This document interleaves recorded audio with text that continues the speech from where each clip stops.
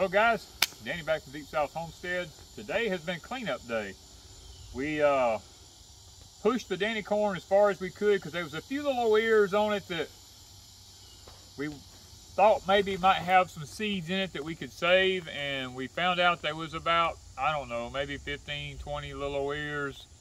Uh, Ms. Allison gave us some corn dryers, so we went ahead and uh, we went ahead and pulled the ears off, stuck them on the corn dryers. We're going to be hanging them up, letting them dry, and hopefully we'll be able to uh, save a few seeds from them to go back into our seed stash.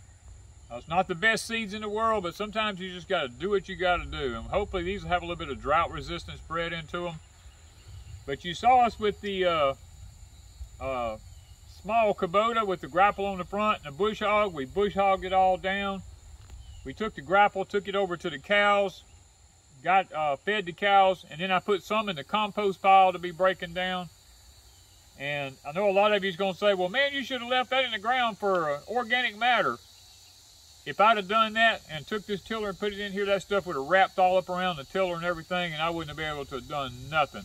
Like it was, there's still pieces of it. You can see it there's still matter in the ground here. I got the long, big stuff up out of here, and I tilled up all the little stuff. Now, when I go to plow this and make my rows up, this stuff like this is gonna give me fits, but I'm gonna try to work with it, let it just break down back into the soil as much as I can. The plans is, guys, with the rest of the year looking like it's gonna look, they're talking about, my sources are saying that possibly till October, the heat's going to be intense, uh, maybe dry, worse than what it is.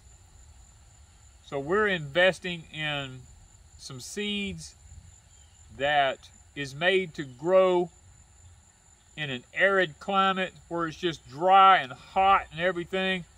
And 100 and something degree temperature all the time from Native American tribes that have been very successful with it.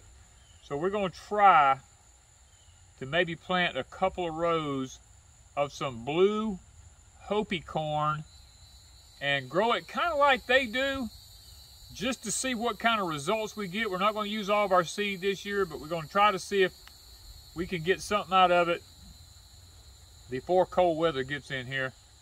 And destroys everything. We're just going to try it. We have nothing to lose. But guys, right now, we're praying, praying to the Father above. We have a big cloud system right in here. We're hoping that it's moving this away. We hear it thundering way in the distance, but this is nothing new for us. We go through this every day. It just never gets here.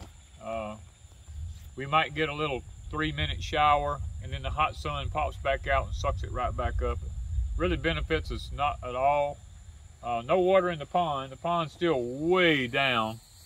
So we're praying that maybe this afternoon this cloud will get here and not rain out. Most of them rain out before they get here and it's very disappointing when you see everybody around you getting rain and you get nothing. Uh, so pray for us guys.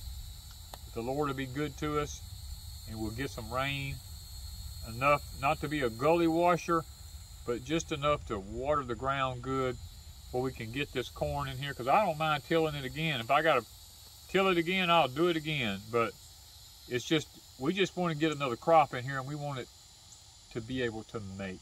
That's our that's our goal. We just want to be able to make some corn this year. And supposedly the blue Hopi corn is one of the better corns for flour and cornmeal and stuff like that. The Danny corn, we don't have enough time for it. And the blue Hopi, they're saying that we might could do it in this length of days that we got left. That's all I can say. We're going to give it a try.